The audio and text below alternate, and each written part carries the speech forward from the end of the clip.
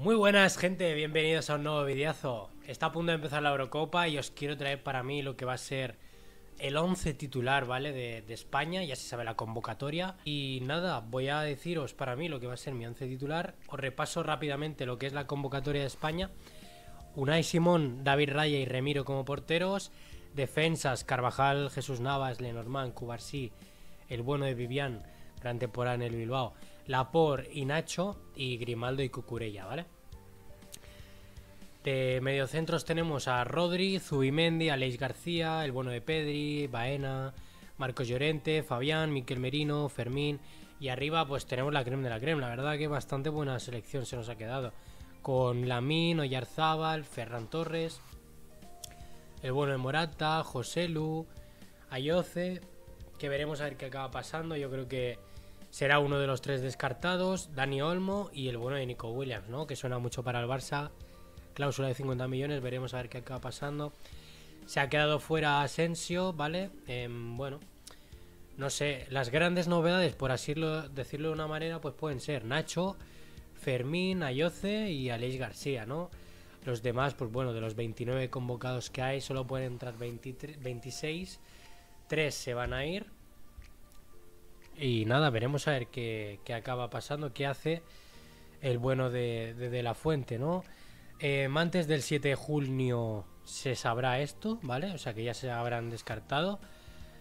Y bueno, para mí, eh, el 11 titular que yo haría para nuestra selección, para esta de Eurocopa 2024, sería Unai Simón en portería. Para mí, Zamora de la Liga y temporada espectacular que ha hecho, muy buenas paradas, muy contundente este año. Carvajal, lateral derecho indiscutible, titularísimo. Eh, Jesús Navas suplente. Pero Carvajal ha hecho un temporada espectacular con ese gol en Champions, salvando al Madrid, fue MVP de la final también. Eh, espectacular, gran temporada. Luego tenemos, yo creo que puede jugar el bueno de Lenormand y Laporte, pareja de centrales, aunque podamos ver a mucho eh, Cubarsí o a Nacho incluso. Puede rotar bastante también, ¿eh? Pero bueno, para mí yo creo que será una formación de 4-3-3 y para mí mi pareja de centrales son Lenormand y Laporte, ¿vale? A día de hoy. Pero veremos a ver qué acaba pasando porque puede pasar cualquier cosa. Aparte de que se lesiona un jugador, que Dios no quiera, toquemos madera, pero puede pasar absolutamente de todo y hay que estar preparado. Y como titular eh, también de lateral izquierdo, sin lugar a dudas, el bueno de Grimaldo, ¿no? Ha hecho un temporada en el Bayer Leverkusen, han ganado la liga y veremos a ver qué, qué acaba pasando, ¿no? Pero para mí una gran temporada el bueno de Grimaldo. Pivote defensivo para Rodri, sin duda ninguna aquí también. Titularísimo, para mí el mejor pivote actualmente del mundo. De la historia ya lo veremos. Dudo que pueda superar a Busquets, pero es muy bueno Rodri. Está a un nivel muy alto. Y la verdad que el City ha tenido una suerte con Rodri espectacular. Porque ahí ha crecido mucho. Ya en el Atlético Madrid jugaba muy bien, pero es que en el Manchester City acabado de explotar a un nivel altísimo. La verdad que Guardiola la sabió sacar partido, ¿no? Pero bueno, para mí titular indiscutible en esta selección. También coloco como titulares, si están bien, pues yo creo que pueden jugar de titular, ¿no?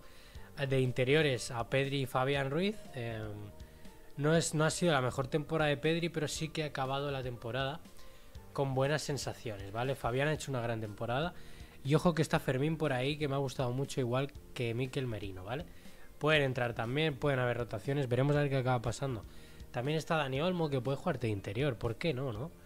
Ya listos y vistos a todo, pues puede pasar. Y mm, a Dani Olmo no es la primera vez que juega ahí, incluso de falso 9 también. Le gusta moverse por dentro, ¿vale? Es un jugador que le gusta. También veremos cómo apagan jugando, porque puede jugar Grimaldo de carrilero, como Leverkusen, dejándole eh, de la fuente toda la banda al bueno de, de Grimaldo. Y luego Dani Olmo, si juega en extremo izquierdo, meterse por dentro, ¿no? Pero bueno, veremos a ver qué acaba pasando. Yo lo he colocado como suplente a Dani Olmo. Porque la banda izquierda coloca a Nico Williams titular, banda derecha la Yamal titular y arriba colocó al bueno de Morata. Está José Lu también, gran temporada en el Madrid, pero yo creo que con total seguridad va a jugar Morata, ¿no? Dani Olmo, pues que puede jugar titular también. Pero es que son jugadores muy buenos, muy polivalentes también. Lamin puede jugar por dentro también. Pedri de falso 9, media punta más, mejor que falso 9, porque en el Barça Xavi le ha dado mucha faceta de profundidad. Trabajaba mucho también, el bueno de Pedri. No sé, veremos a ver qué acaba pasando, ¿no? Pero para mí el 11 ideal sería esto, ¿no? Unai Simón, Carvajal, Lenormand, Lapor y el bueno de Grimaldo en la banda izquierda. Veremos también con faceta de carrilero seguro. Y nada, Rodri, Pedri, Fabián de, del medio centro de, España para esta Eurocopa. La zona de máquinas, zona de motores, zona de creación, ¿vale? Donde el origen de las jugadas, de todo, ¿no? Y bueno, pues extremo derecho Lamin, extremo izquierdo Nico Williams y en punta el bono de, Morata, ¿no? Para mí queda una selección espectacular, ¿no? pueden jugar muy bien. Veremos si se acaban haciendo bien las cosas. Hay futbolistas muy buenos con un presente y un futuro espectacular. Esta selección, si se cuida, tiene cositas y puede llegar muy lejos. Veremos a ver qué acaba pasando este, este año, ¿vale?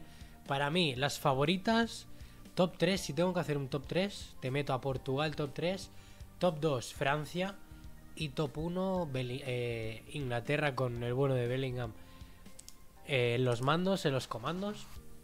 Pero bueno, veremos a ver qué acaba pasando. Para mí, esas son mis tres favoritas. Quizá España sí que estaría la cuarta. Empatada un poco con Holanda, porque tienen un plantillón también.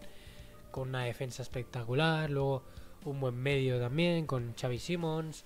La defensa, claro, es que tienes a Delic, Van Dyke, Nathan Ake, eh, carrileros Frimpong, Dumfries, eh, tienen muy buen equipo, la verdad.